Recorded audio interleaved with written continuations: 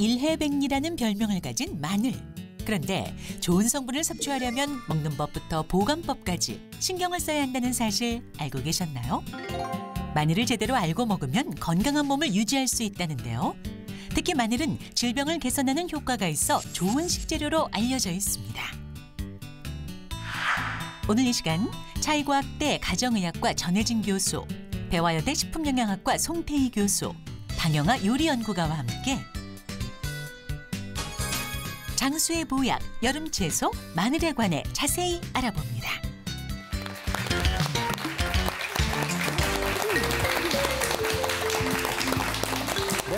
안녕하세요. 36년 전통의 믿고 보는 무엇이든 물어보세요입니다. 앞서 화면에서 보신 것처럼 일해백리 식품이 있습니다. 냄새가 난다는 한 가지 단점을 제외하면 이로움이 100가지인 음. 식품인데 세계 10대 장수식품, 건강식품 중에 하나고요. 네. 음. 또 질병 발생 가능성을 반으로 낮춰준다는 한국인의 밥상에 빠질 수 없는 오늘의 주제는 마늘이었어요. 예. 그렇습니다. 정말 이 마늘이요. 정말 김치 담글 때 넣죠. 국 끓일 때 넣죠. 찌개 끓일 때 넣죠. 채소 무칠 때 넣죠. 정말 안 들어가는 데가 없을 그러니까요. 정도로 네. 한국인이 가장 사랑하는 식재료가 아닐까 싶은데요.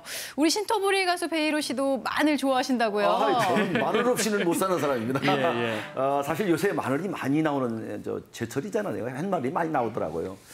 그런데 옛날에 마늘은요, 굉장히 옛날에 마늘 많이 사가지고 천만 밑에 달아놓기도 하고 부엌에도 달아놓기도 하고 또 광속에 넣어서 보관하기도 했는데요. 하여튼 마늘이 정말 좋은 거 아니겠습니까? 그러니까요. 그러니까요, 예. 뭐 저는 집에 광 같은 건 없지만 그래도 마늘 이렇게 들어오면 다져가지고 이렇게 냉동실에 탁탁탁탁 쌓아놓으면 마치 곡간이 가득 찬 오. 것처럼 기분이 그렇게 좋더라고요. 정말 이렇게 백세 장수 건강식품 오늘 마늘의 아. 효능에 대해서 자세히 알아볼 건데요. 오늘도 세 분의 전문가 모셨습니다. 일단 이 질문부터 하고 시작할게요. 송 교수님, 우리나라 사람들과 마늘 진짜 오래된 친구 같은 사이죠? 그러니까요.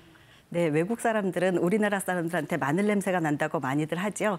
그만큼 우리나라 사람들이 많이, 마늘을 많이 먹는 거고요. 또 마늘을 많이 먹는다는 것은 건강하다는 얘기입니다.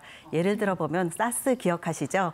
예, 2003년 전 세계적으로 사스가 유행할 때 우리나라에서는 크게 유행하지를 못했습니다. 그 원인 중에 하나가 우리나라 사람들이 마늘을 많이 먹기 때문이라고 하는데요. 이처럼 우리나라에서는 마늘을 많이 먹기 때문에 건강하다고 합니다.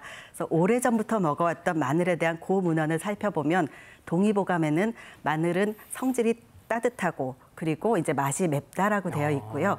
본초 강목에는 이제 기를 내리고 그리고 곡식을 사기고 고기를 소화하며 용종과 익창을 낫게 한다라고 되어 있습니다. 또한 산농 봉초에는 마늘을 오랫동안 복용해도 해가 없다 해서 상약이라고 기록되어 있습니다. 근데 이러한 마늘의 효과는 우리나라뿐만 아니라 중국에서도 전해지고 있는데요. 중국에서는 마늘을 살균 작용 그리고 강장 작용, 정장 작용이 있을 뿐만 아니라 각기 백- 백일에 폐결핵에도 좋은 작용이 있다고 전해지고 있습니다. 네. 방금